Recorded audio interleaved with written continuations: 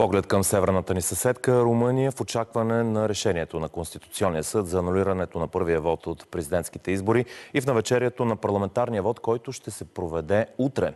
Сега от Букурещ включваме кореспондента ни Стилиан Деянов, който ще ни каже какви са настроенията. Там, Стилияне, здравей!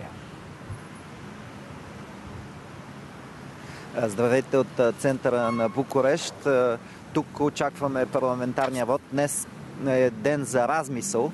Всъщност обаче изборите вече започнаха, защото румънците в чужбина, над 6 милиона румънци живеят в чужбина и гласуват до 1 милион души, имат два дена за гласуване. Тоест гласуването в чужбина започна първо в Нова Зеландия и в Австралия.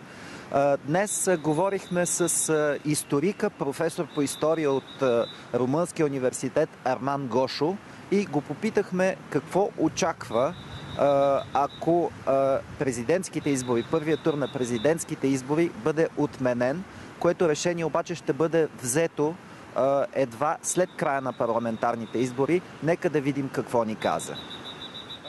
Анулирането на първия тур на изборите се равнява на държавен преврат, направен от политическата класа. На първо място от Социал-демократическата партия, защото те контролират Конституционния съд. Така фактически вотът няма да бъде взет предвид и на хората фактически би се казало ще гласувате докато излезе който трябва. Решението на Конституционния съд зависи от резултата на парламентарните избори в неделя. Ако социал-демократите останат първи, Конституционният съд няма да реши анулиране на президентските избори. Случва се нещо странно. Никога не се е случвало. Социал-демократите са разбрали, че не излизат на първи тур на президентските избори и са нагласили всичко. Джорджеско е много опасен. Социал-демократите само го използват.